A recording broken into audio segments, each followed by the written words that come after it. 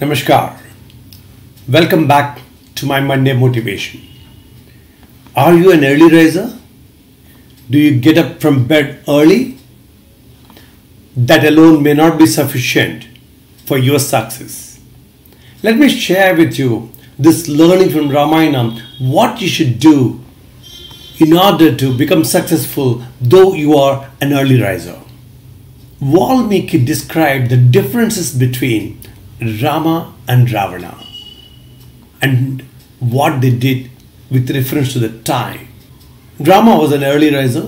One day, while they were spending time in the forest, they woke up from the bed before the sunrise. Rama, Lakshmana, and Sita, all three of them, were walking towards the river Godavari for their morning bath and oblations. It was winter season. The weather was very chill and icy. The water in the river was very cold. On their way to the river, Lakshmana felt bad that his beloved brother Rama had to go through such harsh conditions and also remembered that their brother Bharata was also going through similar kind of difficulties following the trend of Rama. So Lakshmana expressed his anguish and talked badly about their mother Kaikeyi as the root cause of all these problems. Immediately Rama stopped Lakshmana and told him not to talk ill of their mother Kaikeyi, but advised him to continue telling good things about their brother Bharata.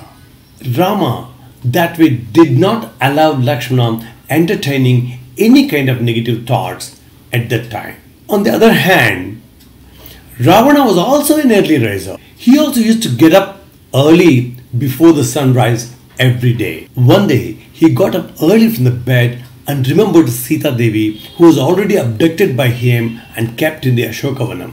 His mind was filled with the thoughts of approaching Sita Devi and persuading her to accept him.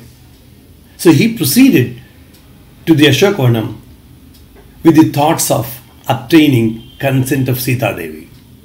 Look at the difference between Rama and Ravana. Both were early risers. While Rama used his early hours, the Brahma Muhurat, for cleansing himself with the positive thoughts and did not allow Lakshmana to speak ill of others. Ravana spent his early hours cultivating negative thoughts and indulging himself in immoral conduct. It's good to get up early. In fact, most successful people are early risers. But the important thing is, unless the time is used for good cause, it is meaningless. Now, due to this COVID 19, we all have the gift of extra time with us. So it's important for us to understand what we are doing with that time. It is what we do and how we do with our time at the workplace that signifies our success at work. So at the present time, it is important for you to be conscious and to give a thought about what you're doing with the time that you have and how you're doing with it for your success. Thank you for watching this video. Please, if you have not subscribed to my YouTube channel yet, do subscribe to my channel and press on the bell icon there.